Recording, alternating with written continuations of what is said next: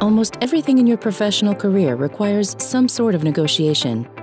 There's your salary, location, lab space, job for a partner, colleagues, work climate, and much more. These are all things you're likely going to have to negotiate to get what you need to succeed. When you begin any negotiation process, it's important to first set your goals. If your long term goal is tenure in a particular department, think about what you need to get there.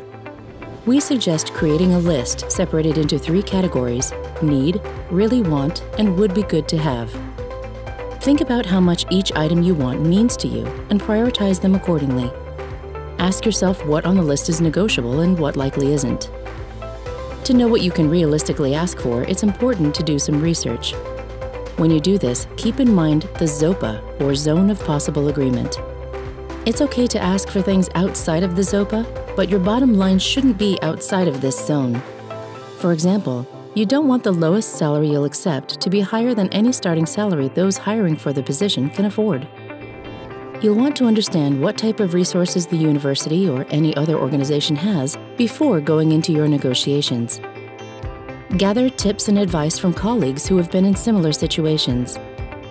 Try to understand what your peers were working with to get insights into the type of flexibility you might have in your negotiations. As you develop your must haves in a negotiation, you will need to have a backup plan in case they cannot give you the items that you need. This backup plan is also known as a BATNA, or Best Alternative to a Negotiated Agreement. If your current negotiation reaches an impasse, you'll want to have your best outside option already identified Focus on keeping the talks positive and productive. Unless you find evidence to the contrary, assume that the other party will do everything they need to help you succeed. You should always avoid issuing ultimatums unless you have a strong backup plan or BATNA. There are lots of factors that can influence how a negotiation can go, including biases that expect people to behave in certain ways. While over time we are working to change these biases, in the meantime, here are some strategies that senior women have found to work for them, such as aligning yourself with the organization's goals. It is always helpful to focus on mutual benefits. Emphasize how your work can contribute to the department's overall objectives. Use relationship language such as, I've talked with several people who, or, so and so suggested that I talk with you. Be creative when you ask for things. Can you share or borrow expensive equipment? Make sure that they know what you're asking for and why, they may be able to help you with a creative solution. During the actual negotiation process, remember that communication skills make a big impression. Stick to a couple of main points that you want to make clear in a meeting or phone call, and avoid rambling on. Keep any written documents well organized and concise.